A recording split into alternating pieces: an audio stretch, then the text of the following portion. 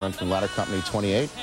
Look on the face of Vinny Testaverde. Wayne Chrebet speaks of the uh, emotional night in New Jersey. First quarter, third and five for the Jets. Testaverde throws and Chrebet in all his acrobatic glory. 34-yard gain. Nice over-the-shoulder catch. Same drive, third and eight for the Jets.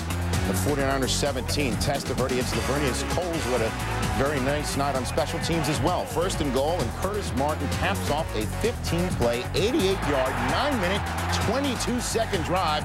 Jets up 7-0. But here come the Niners. Kevin Barlow is breaking tackles, shedding tacklers all night. Takes it down to the Jet 11. And then same drive, third and five from the Jet six. Jeff Garcia, the model of efficiency, hits Terrell Owens for the touchdown. Garcia hit on his first nine passes in the game. And, and Sean, that old spotted dog, Steve Mariucci, he had his trick up his sleeve. He sure did. Crossed him up. You see Terrell Owens in the backfield there with the arrow coming out, running what we call an angle. Very good accurate throw. No time wasted. Terrell Owens gets in the end zone. Big touchdown. And here's Garcia pump faking the rest of the Jets defense. Finds Eric Johnson. Garcia's completed 65% of his passes this season. Three plays later in a tie ball game, Garcia rolls right, stretches for the goal line. The refs say he's just short. And Sean, what do you think about that? Well, that was a third down play, and Steve Mariucci did not even challenge that. But what happens is it looks like he stretches and that ball crosses before he goes down. But they kick a field goal, go up 10 to 7. Garcia's fastly becoming one of the better players in this league. Uh, the 49ers led at halftime 13-7. Jets, Niners, and Giants. New York Giants getting together, presenting a check of $500,000 to the New York City Police and Firemen's Widows and Children's Fund. Following a Jet field goal, it was 13-10 when Vincent Sutherland busts it free for 65 yards, setting up a 49er field goal, making it a 16-10 ball game. Late third quarter, second and six from their own six. It's Garrison Hearst.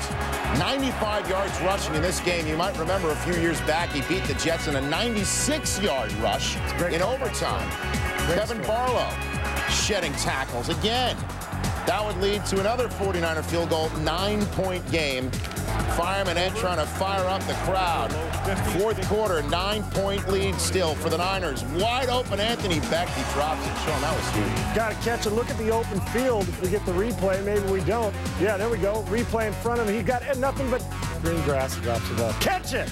He's got to. We give you the replay if you want it, Sean. Whatever you want, man.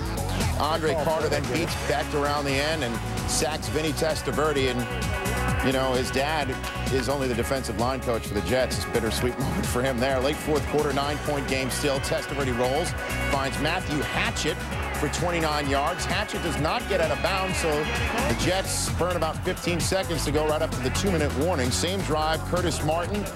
He had 66 yards and two touchdowns in the night, and the Jets are down just by two. The last chance for Herman Edwards in the form of an onside kick with 50 seconds to go, but John Hall his kick bounces right in the hands of Terry Jackson, and that will wrap it up as the Jets offense amassed only 16 first downs all night, and Hearst and Kevin Barlow